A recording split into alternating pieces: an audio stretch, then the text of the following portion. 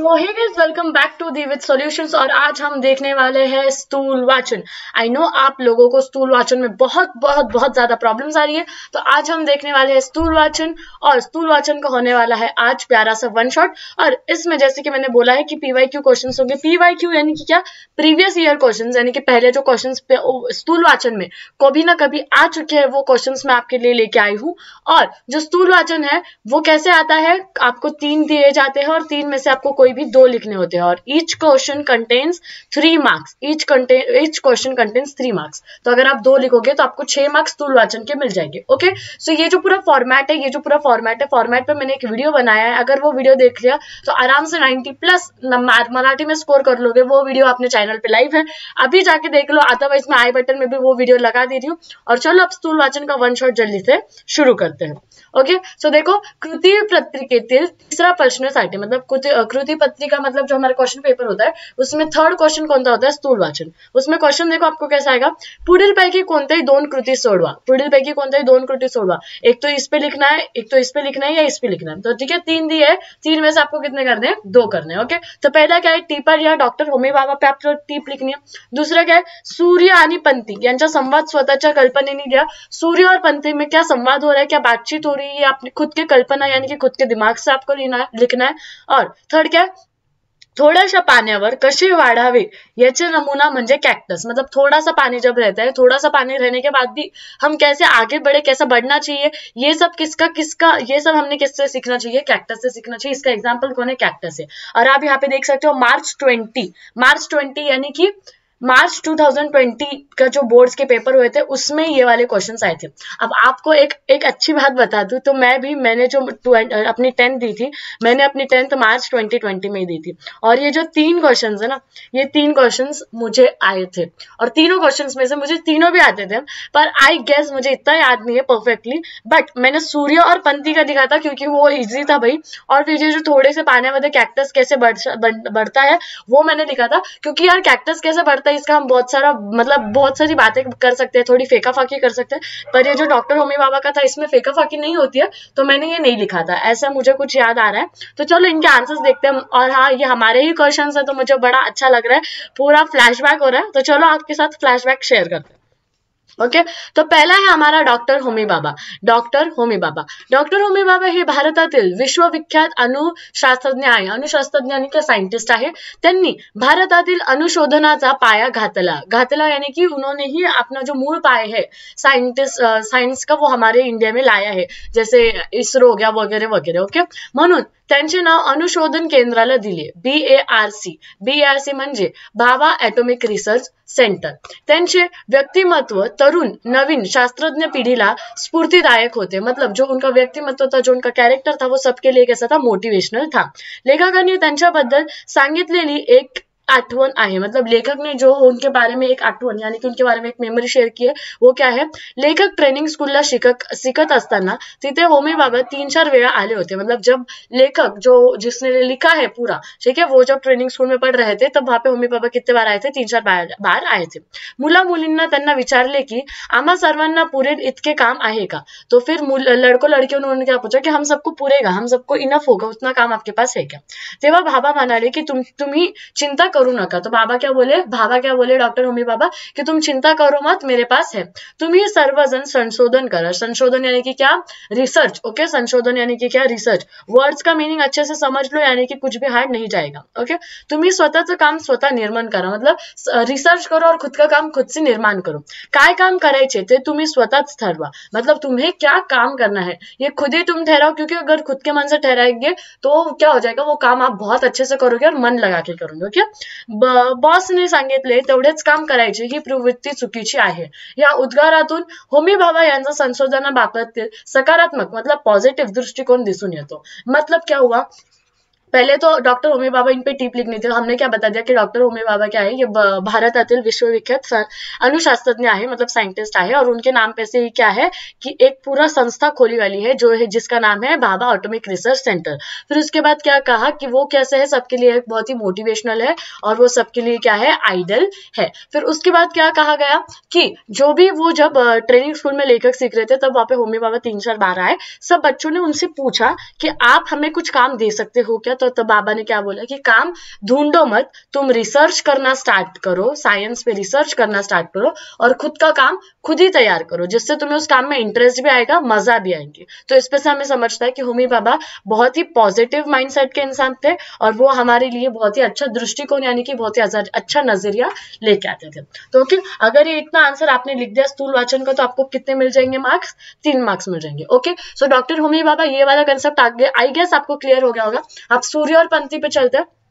सूर्य और पंथी पे देखो क्या आहे सूर्य? चला माझी मावळ्याची वेळ झाली पण एक चिंता लागून राहिलीये. मा, मी मा, की माझ्या नंतर या धरतीला कौन उजड़ेल मतलब सूर्य क्या बोलता है कि चलो यार मेरी तो मावळने यानी कि जब सूर्य सेट होता है सनसेट होता है तो वो तब क्या बोल रहा था सूर्य? सन क्या बोल रहा था कि चलो यार मैं तो अब जा रहा हूँ. पर मुझे एक चिंता है कि मैं जाने के पास इस दुनिया को लाइट कौन देगा? इस दुनिया को लाइट कौन देगा? उसे चिंता थी कि बाबा मैं जान के अब तो अंधेरा हो जाएगा, फिर लाइट कौन देगा? फिर तभी वहाँ पे कौन आती है? पंथी आती है और बोलती है, प्रणाम सूर्य देवा अब हमारे मराठी में क्या है? सूर्य एक देवता है। तो पंथी क्या कहती है? प्रणाम सूर्य देवा सूर्य, कौन ग तू? पंथी मी पंथी आहे, सूर्य, इथे कशी तू? पंथी तुमचं बोलणं ऐकलं, आणि धावत आले. मतलब सूर्य से पूछ रहा है, तू कौन है? यहाँ पे क्यों आई? तो पंथी बोल रही है, मैं पंथी हूँ। तुम्हारा बात, तुम्हारी बातचीत सुनी, और मैं आपके पास भागते भागते आ गई. उसके बाद देखो, सूर्य से क्या बोलता है? काय काम आहे माझ्याकडे? ते काम आहे का माझ्याकडे? फिर पंथी बोलती माझं काहीच काम नाही. उरलेलं तुमचं काम मला करायचं आहे. करू का? फिर ऐसा पंथी क्या बोलती है कि मुझे तुमसे कुछ काम नहीं है, पर आपका जो काम आधा रह गया है, वो मुझे पूरा कर रहा है. करू क्या? तो फिर सूर्य म्हणतो सूर्यानी बोल, सूर्यानी विचारलं, काय करणार ग तू? पंथी म्हणाली, तुम्ही गेल्यावर ह्या धरतीला मी उजळीत ठेवीन. मतलब आप जाने के बाद जब पूरी धरती पे डार्कनेस फैल जाती है, तब मैं अपने लाइट से क्या करूँगी? धरती पे लाइट फैलाऊँगी. तो सूर्य, खरं की काय? तुझा प्रकाश तो केवढा? फिर सूर्य ने बोला, सच्ची, पर तेरा प्रकाश कितना है फिर पंथी बोली, चिमुकला असला तरी प्रकाशच ना. पंथी क्या बोली, थोडी लाइट हो या ज़्यादा लाइट हो? लाइट तो लाइट होती है राइट तुमचाच वसा घेतला घेतलाय मी. तुम्हारे ही तुम, तुमचा इन्स्पिरे तुम्हारी ही इन्स्पिरेशन ली है मैंने. वसा यानी कि इंस्पिरेशन स्वतः जळत दूसऱ्यांना उजड़ देने हे कर्तव्य मानते मी. मतलब सूर्य और पंथी क्या करते हैं? खुद जलते हैं. ओके उनके पास आग होती है, वो हमें लाइट देते हैं. तो वो लोग क्या करते हैं? खुद जलते हैं. खुद जळतात ते स्वतः जळतात पण दुसऱ्यांना उजाडा देतात. तर का पण ती काय म्हणते सूर्याला? की मी तुमच्याकडनंच इन्स्पिरेशन घेतलं आहे की स्वतः जळावं वर दुसऱ्यांना उजड देवा. हेच आपलं कर्तव्य आहे. सूर्य. हो रे बाबा, आज मी धन्य झालो. माझा आशीर्वाद आहे तुला. पंथी क्या बोलती? स्मरण स्पर्श, चरण स्पर्श करते बाबा तुम्हाला. फिर सूर्य क्या बोलता? हाँ हाँ ठीक है, तू कर ले ये काम. और मैं आज बहुत खुश हूँ. मेरा आशीर्वाद हमेशा तेरे साथ है. और पंथी क्या बोलती है? थैंक यू सो मच मैं आपके पैर पड़ती हूँ. थैंक यू ओके सो ये देखो, सूर्य और चंद, पंथी ये बात इतनी प्यारी सी, इतनी इजी सी। यहाँ पे पूरा आंसर खत्म हो गया। क्या करना है आपको? बस उनकी बातचीत बतानी है और आपको तीन मार्क्स मिल गए। आई होप आपको ये आंसर भी क्लियर हो गया होगा। आप आप बोलोगे, दीदी, आपको ना बड़े इजी स्टूल वाचन आए थे। अरे टेंशन लो मत। आपको तो मुझसे भी ज़्यादा ईजी आएगी। और मेरी तो इतनी प्रिपेरेशन भी नहीं हुई थी। आपकी तो प्रिपेरेशन बहुत अच्छे से हो गई है। क्योंकि क्योंकि स्टेट बोर्ड वाले भैया, इन्होंने भी आपकी प्रैक्टिस ली है और दी विद सोल्यूशन इन्होंने भी आपकी प्रैक्टिस ली है। तो इन दोनों की वजह से आपके पेपर्स एकदम मस्त जाने वाले बिल्कुल भी टेंशन लो मत। अब थर्ड क्वेश्चन देखते हैं थर्ड क्वेश्चन का आंसर क्या है? हमारा थर्ड क्वेश्चन क्या था? कैक्टस का था। तो उसका आंसर देखो वळवंटी प्रदेशात मरुभूमी जीवन संपवणारी भूमी म्हणतात। मतलब क्या जो हमारा डेजर्ट प्लेस होती है उसे मर, मरुभूमी कहते हैं क्योंकि वहाँ पे जीवन रहते के ज़्यादा नाही। परंतु कधी काळी पाऊस असला तरच वनस्पती वापर करतात हे कसं करतात हे पाहण्यासारखे आहे। कभी कभी वहाँ पे आई एम सॉरी कभी कभी वहाँ पे दो तीन साल में एक बार बारिश होती है और दो तीन साल में अगर एक बार वहाँ पे बारिश हुई तो प्लांट्स उसका बेनिफिट कैसे उठाते हैं? ये देखने जैसा है, देखने लायक है। पाउस आला की उगा उगवायचे आणि पाऊस संपला की बिंबायचे रूपाने मातीने पडून राहायचे. हा इथल्या वनस्पतीचा नियम आहे. मतलब क्या जब बारिश आती है तब खड़े हो जाने का पानी का आनंद लेने का और जब बारिश चले जाती है तब लेट के रहने का. ये यहाँ का क्या है? नियम है. अव अवर्षणाचा प्रतिकार करणाऱ्या वनस्पतींमध्ये सर्वात महत्त्वाचा प्रकार हा कॅक्टस आहे. सबसे मेन कोण आहे? वापे पे कॅक्टस आहे. कॅक्टस या वनस्पतीत पाऊस पडतो तेव्हा जेवढे पाणी मिळवता येईल तेवढे स्वतःमध्ये साठवून ठेवतात आणि कोरड्या हंगामात मंद गतीने वाढत राहतात. मतलब जब बारिश आती है बारिश आई बारिश आई बारिश है जब बारिश आती है तो ये जो कैक्टस होते हैं, जिसको काटे होते हैं, वो क्या करते हैं? जितना पानी उसको खुद के अंदर समा के लेते आएगा, उतना पानी वो समा के लेता है। और जब बारिश चली जाती है, उसी पानी पे क्या करता है? वो अपना गुजारा करता है। मनुनच और उस गुजारे की वजह से क्या होता है? वो बढ़ते रहता है, आगे बढ़ते रहता है। मनुनच ये देखो लास्ट लाइन है, ठीक है यहाँ पे? म्हणूनच थोड्याशा पाण्यावर कसे वाढावे याचे नमूना म्हणजे कैक्टस इसीलिए थोड़े से पानी में कितना आगे हम बढ़ सकते हैं, थोड़े से चीज़ों में हम कितना आगे बढ़ सकते हैं, इसका नमूना हमें कौन देता है? कैक्टस देता है। तो देखो, गट ए जो हमारा था 2020 का पेपर के जो पीवाई क्यू थे, हमारे स्थूल वाचन के, वो हमारे तीन कंप्लीट हो गए। अब हम गट टू पे जा रहे हैं। गट टू पे देखो सूर्य सूर्यास्ताच्या दर्शनाने मनात निर्माण होणाऱ्या मानवी भावना शब्द शब्द शब्द करा. सेकंड क्वेश्चन आहे वाळवंटी प्रदेशात झाडांना काटे असण्याची कोणती कारणे असतील? हे असे तुम्हाला वाटते ते लिहा. थर्ड आहे पुढील मुद्द्यांवर एक परिच्छेद तयार करा. ओके परिच्छेद यानी कि एक पूरा क्वेश्चन हमें तयार करना है मतलब पूरा एक सेंटे पॅराग्राफ हमें तयार करना है निर्मितीचा ठराव निर्मितीची जबाबदारी निर्मितीसाठी अर्थशास्त्र अर्थ हास्य आणि त्याचे प्रकाशन. अब पहले तो देखो सूर्य का आंसर हम देखते हैं। सूर्य उगवतो तेव्हा मानवी जग चैतन्य रसमय होते. रस रसते. मानवाचे जीवन फुलते. मानव कार्य करण्याची इच्छा जागृत होते. दिवसभर सूर्यप्रकाशात मानवी मन उजळत राहते. परंतु सूर्यास्त होताच मानवी मन कृतार्थने भरून येते. घरी परतण्याची व कुटुंबात रमण्याची ओढ निर्माण होते. पण त्याचबरोबर दिवस मावळतात याची उदासी मनात रेंगाळते. मन काहीशी हळवे होते. प्रियजनांच्या भेटीची हुरहुर मनात दाटून येते. सूर्यास्ताच्या वेळेच्या तेजागोल मानवी जगाचा निरोप घेते. नि माणूसही सूर्याला निरोप देतो. परंतु पुनः उद्या सूर्योदय होणार सूर्य दर्शन होणार, ही आशा मानवी मनात उमड़त रहते. यानी कि क्या? उन्होंने क्या बोला था? जब सनसेट होता है, तब आपके मन में क्या फीलिंग आती है? लोगों के मन में क्या फीलिंग आती है? ये आपको बताना है। तो इन्होंने क्या बोला कि देखो, जब सूर्य सुबह आता है तो पूरा जग कैसा होता है? चैतन्यमय होता है। सबके मन में एक नई आशा होती है, नई उम्मीद होती है कि आज कुछ अच्छा होगा। सब एक नई उम्मीद से अपने काम पर जाते हैं, लगन से काम करते हैं, मेहनत से काम करते हैं। पर जब सनसेट होता है, अंधेरा होना शुरू होता है तो सबको कैसा हो जाता जाता है, थकवा आ जाता है, सब टायर्ड हो जाते हैं और सब बोलते हैं कि बाबा अब तो दिन खत्म हो गया। और सब कैसे हो जाते हैं, सबको अपने फैमिली के पास जाने का मन होने लगता है। ऐसा लगता है, यार, अपने फैमिली अपने फ्रेंड्स के पास जाए, उनके साथ टाइम बिताए। ओके तो उसकी वजह से क्या होता है ना थोड़ा सा मन जो है, वो इमोशनल भी हो जाता है। और फिर कैसा लगता है, यार आप सूर्य जा रहे हैं। पर एक न्यू होप लेके कल सूर्य वापस आने वाला है, ये भी अपने को पता है। आज की रात कितनी भी काली हुई, कितनी भी डार्क हुई तो कल सूर्य वापस एक नई होप नई उम्मीद लेके आने वाला है, ये हमें पता होता है। इसीलिए ये सब हमने एक्सप्लेन किया इस क्वेश्चन के आंसर में। आई होप ये क्वेश्चन का आंसर आपको क्लियर हो गया होगा। सेकंड क्वेश्चन का आंसर देखते हैं। सेकंड क्वेश्चन का आन्सर इज वळवंटी प्रदेशातील अनेक कॅक्टस सरळसोट खांब खांबासारखे उंच वाढतात. त्यांच्या अंगावर धारधार बोचरे काटे पसरलेले असतात. त्यामुळे कोणताही प्राणी त्यांना तोंड लावू शकत नाही. काटे म्हणजे कॅक्टसचे संकट काळी स्वतःचे स्वतःचे केलेले रक्षण असते. वळवंटी प्रदेशात बहुतुक झाडांना काटे असतात. त्याला विशेष कारण असे की ओल्या प्रदेशातील काटेरी झाड प्राण्यांना खाल्ली. तरी पाण्याची कमतरता असूनही ही झाडे पुन्हा लवकर उगवून येतात. वाळवंटी प्रदेशात हे शक्य नसते. पाण्या पाण्या दुष्काळामुळे झाड सुकून जाते. यासाठी वाळवंटी प्रदेशातील झाडांना जणू काट्याची हत्यारे संरक्षणासाठी धार लावून ठेवली आहेत. यानी कि क्या? अगर देखो हमारे नॉर्मल नॉर्मल जो जहाँ पे एन्व्हायरमेंट होता है जहाँ पे हमेशा नियमितपणे पाऊस येतो नियमितपणे ऊन पडतो तिथे झाडांना काटे असतात का? नाही. आणि ते झाड जर आपल्या ॲनिमल्सनी खाल्ले सुद्धा तरी काय होतात? झाड परत उगू शकतात. पण वानवंटी प्रदेशात कसे होतात? जर एकच झाड आहे आणि त्याला पण कोणी अॅनिमल येऊन खाऊन घेतो आहे तर तिथे झाड उरणार का नाही? म्हणून त्या झाडाला देवाने काय दिले आहे? काटे दिलेले आहे. का? कारण की जर झाडाला काटे असले तर अॅनिमल त्याला टच करू शकतो का नाही? आणि त्या काट्यांमुळे हा झाड जो आहे तो स्वतःचं संरक्षण करतो. म्हणून हा असा पूर्ण आन्सर तुम्हाला दिलेला आहे. आय होप तुम्हाला सेकंड आन्सर पण कळलेला असेल. थर्ड आन्सर आहे विप्युत्ती कोश विपुत्ती कोश म्हणजे याचं जे आपल्याला निर्माण करायचं होतं बघा इथं तुम्हाला हेडिंग दिलेली आहे. हे बघा इथे. विपुत्ती कोश, हे तुम्हाला हेडिंग दिलेली आहे. आणि हे टॉपिक्स तुम्हाला कव्हर करायचे आहे. त्याच्याच बघा, इथे आन्सर आपण लिहून आणलाय. आन्सर बघा इथे. विपुत्तीकोश एखाद्या शब्दाबद्दलचे कुतूहल समवण्यासाठी आपण विपुत्ती कोश. विपुत्ती यानी की क्या? अपन जो बोलते ना वेब वेब पे जो अपन वेब ब्राउज़र पे अपन जो सर्च करते हैं वही. ओके विकिपीडिया विपत्ती कोश यानी की विकिपीडिया विपत्ती कोशात आपल्याला मूळ शब्द कसा, केव्हा, कुठे निर्माण झाला परंतु अन्य भाषात तो शब्द कसा आला व कोणत्या रूपात आहे, हेही कळते. मतलब विपत्ती कोश यानी कि क्या?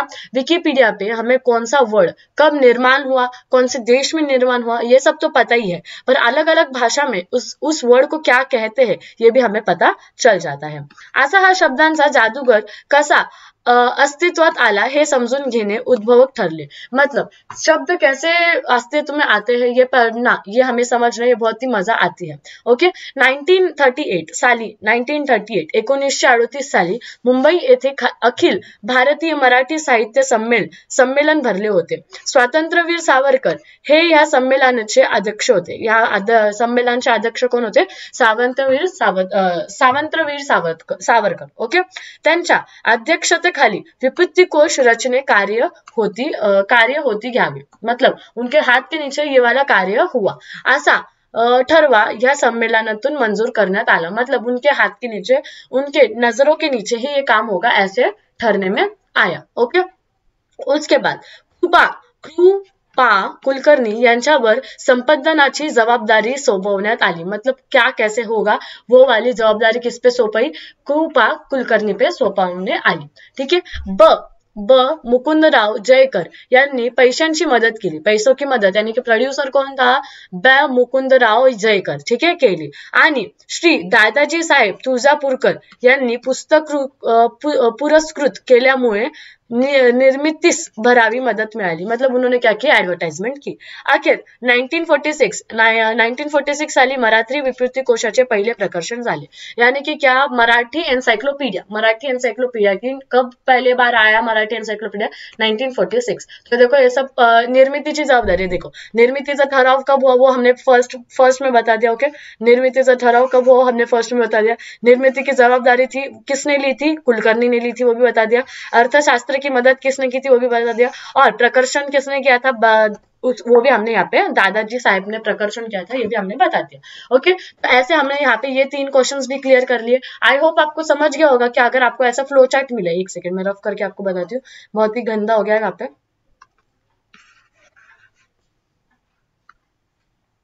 आई होप आपको समझ गया होगा कि अगर ऐसा आपको फ्लो चार्ट आया कि आपको ये सारे पॉइंट्स लिखने हैं उसमें तो आई होप आपको क्लियर हो गया होगा कि आपको कैसे लिखने हैं। मतलब लिखना तो हमको as a paragraph as a answer ही है, पर उसमें वो सारे पॉइंट्स क्लियर हो जाने चाहिए। वो सारे जो पॉइंट्स उन्होंने दिए, वो इंपॉर्टेंट पॉइंट्स होते, और वो पॉइंट्स अगर आपने क्लियर करे तो ही आपको मार्क्स मिलेंगे। और हमेशा याद रखना, हमें किस फॉर्मेट में लिखता है? पैराग्राफ फॉर्मेट में हमें लिखना है ओके उसके बाद हम जाते हैं गट पे। गट हमारा क्या है? निसर्ग हा मोठा जादूगर हे विधान वळ वाळवंटी प्रदेशाच्या संदर्भात कसे लागू पडते? ते जगणं कॅक्टस चा कैक्टस या पाठाच्या आधारे लिया मतलब निसर्ग हा मोठा जादूगर है मतलब ये जो नेचर है वो बहुत बड़ा मैजिक मैजिक मैजिशियन है. ये हमें बताना है. पर कौन से लेसन के आधार पर बताना है? कैक्टस के लेसन के आधार पर हमें बताना है. ओके सेकंड क्वेश्चन क्या है? पंथीच्या उदाहरामधून कवितेचा व्यक्त झालेला विचार स्पष्ट करा. पंथी पंथी पंथी की वजह से हमें कविते में से क्या मिला? क्या विचार मिला? क्या मैसेज मिला? ये हमें बताना है. थर्ड मेटलाइजिंग मेटलायझिंग प्रक्रियेवर काम न होण्यामागची कारणे कोणती असावीत असे तुम्हाला वाटतं? मेटलाइजिंग प्रोसेस इस पे काम क्यों नहीं हुआ ये आपको बताना है. ओके अब देखो हम आंसर्स देखते हैं यहाँ पे. पहला आंसर तो है पाण्याचा अभाव रेताड जमीन आणि कडक कोरडेपणा पाण्याचा अभाव रेताड ज़मीन आणि कडक कोरडेपणा ही वळवंटी प्रदेशाची वैशिष्ट्ये आहेत. पाण्या जीवन फुलू शकतात. फुल, फुलू शकत नाही. मतलब अगर पानी नहीं है तो जीवन होगा क्या नहीं? परंतु वळवंटी प्रदेशात तेथील विशेष जीवनवृष्टी आहे. जीवनसृष्टी आहे. मतलब वहाँ अगर पानी नहीं भी रहा तो वहाँ क्या होता है? थोड़ा थोड़ा लाइफ साइकिल चलता रहता है. वनस्पती आहेत व त्या वनस्पतींवर जगणारे प्राणी आहे. उस वनस्पती पे जगने वाले कौन है प्राणी भी आहे जैसे कि हम ले सकते एग्ज़ाम्पल कैमल का. ओके वळवंटी प्रदेशाला मरुभूमी म्हणतात. वळवंटी प्रदेशात वर्षातून एकदाच पाऊस पड़तो. कब कब पानी गिरता है एक साल में से एक बार. कभी कभी तो वो भी नहीं पड़ता, ओके? तर कधी कधी तीन तीन वर्षे तो बेपत्ता असतो. देखो, मैंने आपको स्टार्टिंग में बताया था, दो से तीन साल भी कभी कभी वहाँ पे बारिश नहीं होती है, ठीक है? अवर्षणाचा या काळात वळवंटी प्रदेश भकाश व असोड असतो. पानी नहीं है तो पूरा काल कैसा रहता है? पूरा जो एरिया रहता है, भकास रहता है मतलब एकदम बोर हो जाता है, ओके? जीवन उजाड़ होते इसलिए वहाँ पे कोई ज़्यादा लोक रहते हैं क्या नहीं? मग, एक दिवस पाऊस पडतो जादू होण्या होउन झाड़ा झुड़पाना पालवी फूटते. सिर्फ़ एक ही बार वहाँ पे बारिश आती है और बारिश आने की वजह से क्या हो जाती है? सब जो झाड़ है उनपे फ्लावर्स फ्रूट्स लीव्स आना स्टार्ट हो जाते हैं ओके बियांमधून रोपे उगवतात. लगेच वहाँ पे क्या होता है रोप आना स्टार्ट हो जाते हैं. रोपांवर भरगच्च फुलं फुलतात. लगेच वहाँ पे क्या होता है फूल फुलने लग जाते हैं ओके त्या काळात हा असोड भूत प्रदेश बगीच्यासारखा दिसतो. मतलब जो ऑल द टाइम एक डेजर्ट सिर्फ़ आ, मतलब मैं आपको एग्ज़ाम्पल देती हूँ. um, पूरा खाली खाली लगता है उसमें कुछ जान नहीं लगती है। एक बारिश होने के बाद वहाँ पे पूरा बगीचा बन जाता है। इतने सारे फ्लावर्स इतने सारे फ्रूट्स इतने सारे झाड़ वहाँ पे आ जाते हैं ओके जनु वळवंट स्वर्गच उतरवतो मतलब एक दिन के लिए एक महीने के लिए एक हफ़्ते के लिए उस वळवंट में उस डेजर्ट में जैसे कि स्वर्ग आ गया ऐसे लगने लग जाता है। वळवंटातील जीवन या, या काळात थोडेसे का होईना सजीव होते। मतलब थोड़ा सा क्यों ना हो वो उस टाइम पे वहाँ पे मदद हो जाती है ओके म्हणून निसर्ग हा मोठा जादूगर आहे असे म्हटले जाते. इसलिए क्या बोला कि नेचर एक मोठा जादूगर आहे. जब नेचर को चाहिए, वो आएगा. जब नेचर को नहीं चाहिए, वो नहीं आएगा. और जब भी वो आएगा, अपनी जादू सब तरफ़ फैला के जाएगा. ऐसे इस सेंटेंस में से हमें बता के देना था और ये इस आंसर में इन्होंने बता के दिया. आई होप आपको ये आंसर क्लियर हो गया होगा. सेकेंड सेकेंड क्वेश्चन देखते जाता असता जाता असताना या गुरुदेव टागोरांची बंगाली कवितेची व श्यामला कुलकर्णी यांनी केलेल्या रूपारांत सूर्य व पंथी हे तेजाची दोन प्रतीक मांडली आहे ठीक है मतलब सबसे पहले बनाए कौन किसने था? गुरुदेव टैगर ने पर उसको मराठी में रूपांतर किसने किया? श्यामला कुलकर्णी ने मतलब उसका ट्रांसलेशन ओके सूर्य दिवसभर पृथ्वीला ऊर्जा देता चैतन्य देतो. परंतु अस्ताला जाताना अस्ताला जाताना यानी की मावळताना ठीक आहे? जाताना खंत करतो की माझ्या मागे या पृथ्वीला प्रकाश कोण देणार? अशा वेळी एक छोटी पंथी पुढे येते. नीती सूर्याला म्हणते मला जमेल तशी मी पृथ्वीला उजळीत ठेवीन. पंथी पंथीच्या या उदाहरातून असा संदेश मिळतो की मिळतो की सत्कार्य ज्याचे त्याने कृती कुवर्ती प्रमाणे करित राहावे. मतलब जिसके मन में इच्छा आई तो उसके पास ज़्यादा ज़्यादा चीज़ें हो, ना हो. अब जैसे देखो, अगर आपको पढ़ाई करनी है, अगर आपको टॉप करना है तो आप ट्यूशंस लगाओ ना लगाओ, आप यूट्यूब वीडियोस देखो, ना देखो, आप टॉप करोगे। पर अगर आपके मन में इच्छा ही नहीं है, आपके मम्मी ने लाख दो, लाख की मम्मी पापा ने लाख दो, लाख की ट्यूशन लगा दिए, पर आपके मन में पढ़ने की इच्छा ही नहीं है तो क्या आप पढ़ सकोगे? नहीं। तो वैसे ही इस पंथी के मन में इच्छा थी, इसलिए उसने हेल्प की, और इसीलिए वो छोटी सी जान थी, पर तभी भी क्या हुआ, उसने हेल्प की। और देखो, सेवा करण्याचा आपला वाटाच उचलावा, मनापासून केलेले कार्य मोठे किंवा छोटे ठरत नहीं। अगर आप मन से कर रहे हो कोई भी चीज़ तो कभी भी छोटी या बड़ी नहीं होती। अगर अगर उसका रिज़ल्ट आपके फेथ में आया नहीं, आपके पक्ष में आया नहीं, तभी भी डरना नहीं है। आपने आपका हंड्रेड परसेंट दिया, इसी चीज़ से आप हमेशा सेटिस्फाइड रहो, ठीक है? अंधारामध्येही प्रकाश देण्याची शक्ती छोट्याशा पंथीत असते. तिने उजड देण्याचा वसा घेतला आहे. तो क्या बोला? यहाँ पे क्या बोला कि पहले किसने लिखी थी? टैगोर ने लिखी थी. फिर किसने लिखी? कुलकर्णी ने लिखी. श्यामला कुलकर्णी ने लिखी. फिर क्या बोला की सूर्य क्या करता आम्ही दिवसभर पृथ्वीला उजड देतो. पर नंतर तो मावळतो तर त्याला खंत असते की बाबा आता पृथ्वीला उजड कोण देणार? तेव्हा एक पंथी समोर येते आणि ती म्हणते मी छोटी का असो ना? माझं काम छोटं का असो ना? पण तरी मी ते करेल. कारण की मी ते मनापासून करते आहे. तर हे सगळं आपल्याला कोण शिकवतो? पंथी शिकवते की कोणतंही कार्य छोटा मोठा नसतो जर ते तुम्ही मनाने करत असला तर. Okay I hope this answer is clear third answer देखते. हैं थर्ड आंसर क्या? है बार्क मध्य बार्क क्या होता है बाबा ॲटॉमिक रिसर्च सेंटर अभी मैंने आपको बताया. बार्क मध्ये लेखक इंजिनियर म्हणून रुजू मतलब लेखक कैसे रुजू ने वहाँ पे जॉईन कैसे किया? एज अ इंजिनियर तेव्हा मेटलाइजिंग प्रक्रियेवर काम करायला सांगण्यात फिर उनको क्या बोला की मेटलाइजिंग ये जो प्रोसेस है, उस पर आप काम करो. त्या प्रसंगातून आपल्याला मेटलाइजिंग प्रक्रियेवर काम न होण्याची कारणे कळतात. फिर उसके बाद क्यों उस पर काम नहीं हुई अपने को समझेगा. ओके तिथे सगळ्यांची यंत्र सामग्री असली तरी कोणी वापरत नाही. वहाँ पे यंत्र सामग्री सामग्री यानी कि सारी मशीन अगर वहाँ पे हो भी तो वहाँ पे कोई यूज़ करता है क्या? नहीं। इंजीनियर ला वेल्डर व फोरमैन लागतात। इंजीनियर को कौन कौन लगता है? वेल्डर भी लगते हैं फोरमैन भी लगते हैं। मशीन होने के बाद भी लोगों की ज़रूरत तो पड़ती ही है। परंतु, आता काहीच मदत मिळणार नाही। पर अब उनको क्या बोला था कि आपको वेल्डर की नहीं फोरमैन की नहीं, किसी की भी मदत मिलेगी क्या? नहीं.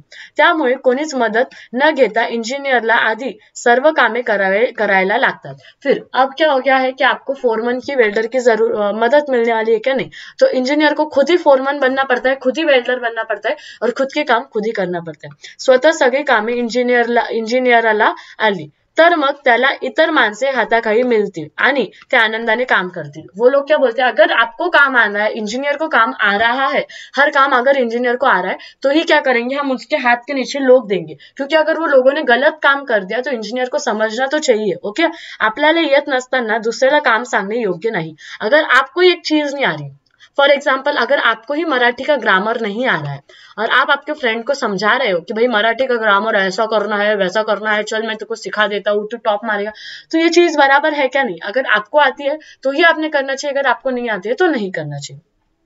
प्रथम अपन काम कराए मग इतरांना सांगायचे. पहले अपन ने खुद ने वो चीज़ करनी चाहिए, फिर दूसरों को सिखाना चाहिए कि भाई तू ऐसा कर, तू वैसा कर.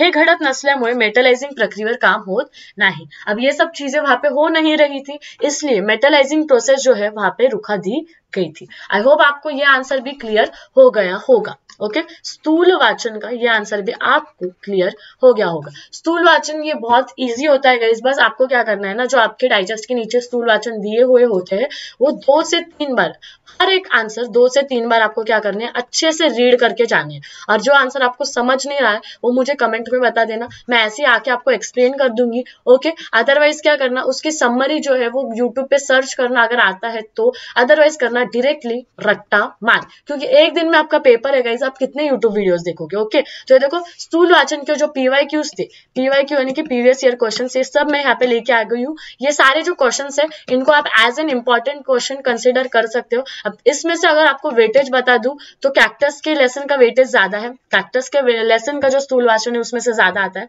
ठीक है? भाभा एटोमिक सेंटर जो है ओके होमी बाबा है उनके लेसन का भी एक हज़ार क्वेश्चन आ जाता है। और जो पंथी है पंथी जो है उसके लेसन का उसका जो लेसन है पंथी और सूर्य का उसमें तो उसमें से तो एक क्वेश्चन आता ही आता है। ओ माय गॉड एक सेकेंड रुक जाओ।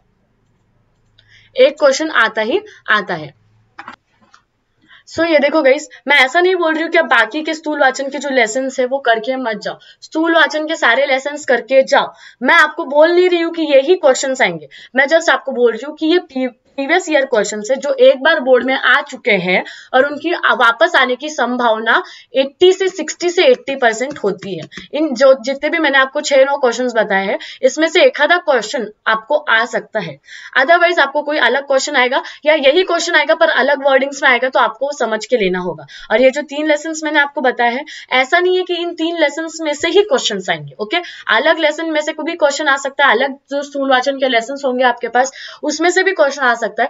बट ये जो तीन लेसन है, जैसे कि आपने देखा, मैंने आपको तीन साल के प्रीवियस ईयर क्वेश्चन बताए, उनमें तीन लेसन में से एक एक लेसन का कोई ना कोई आंसर तो था ही। इसलिए मैंने बोला कि अगर आप लेसन वाइज जाए तो इसका वेटेज क्या है आपको? ज़्यादा पड़ेगा ओके सो so, सब आपको ऐसा नहीं है कि कुछ छोड़ना है। आपको सारे स्थूल वाचन के जितने भी लेसन दिए अच्छे से रीड करके जाना जैसे दीदी ने बोला है दो से तीन बार अच्छे से रीड करना जो नहीं समझ रहा है दीदी को कमेंट करना दीदी आपको समझा देंगी ओके और दीदी ने प्रीवियस ईयर क्वेश्चन आपको सब करा दिए। ये जो प्रीवियस ईयर क्वेश्चन आपको मैंने करा दिए इसका स्क्रीनशॉट ले लो वापस वीडियो रिवाइंड करके अच्छे से ये वाले क्वेश्चन भी पढ़ लेना ओके दीदी ने क्या क्या बोला था, ये बातें याद रखना। कैसे कैसे लिखना है, हमेशा याद रखना, ओके? और देखो, तीन क्वेश्चन आते हैं, तीनों में से तीनों सॉल्व करना ज़रूरी नहीं होता है। तीनों में से कोई दो भी सॉल्व अगर आपने कर दिए तो आपको पूरे छह मार्क्स मिल जाएँगे अगर पूरे आपने अच्छे से लिखा होगा तो। और अगर आपको लगता है कि आपने दो क्वेश्चन लिख दिए हैं, पर उसमें कोई गड़बड़ है और आपके पास टाइम है तो आप थर्ड क्वेश्चन भी गो थ्रू कर सकते हो। और ऐसे क्वेश्चन लिखना जिसके आंसर आपको पता हो या आप थोड़ा सा मन से लिख सकते हो। ऐसे क्वेश्चंस पे मत, ऐसे क्वेश्चन सॉल्व मत करना जिसपे आप मन से कुछ लिख ही नहीं सकते हो। ओके सो ये थी कुछ स्ट्रेटर्जी और ये थे कुछ पीवाई क्यू क्वेश्चन जो कि थे इंपॉर्टेंट क्वेश्चन स्थूल वाचन के लिए। आई होप आपको वीडियो यूजफुल रहा होगा। वीडियो अगर यूजफुल रहा होगा और पसंद आया होगा तो लाइक कर देना। आपने सारे दोस्तों के साथ, अपने सारे व्हाट्सएप ग्रुप्स पे इंस्टा ग्रुप्स पे स्नैपचैट ग्रुप्स पे शेयर कर देना। क्योंकि देखो यार, दो दिन में मराठी का पेपर है, ठीक है? तीन तारीख को मराठी का पेपर है। कल तो सेमी मीडियम का पेपर आ गया है ओके तीन तारीख को मराठी का पेपर है। तो देखो यार, दोस्तों की भी पढ़ाई हुई नहीं होती है तो दोस्तों को भी मदद कर दो मराठी सब्जेक्ट में होकर स्कूल वाचन सबको हार जाते हैं तो सबके साथ शेयर ज़रूर करना।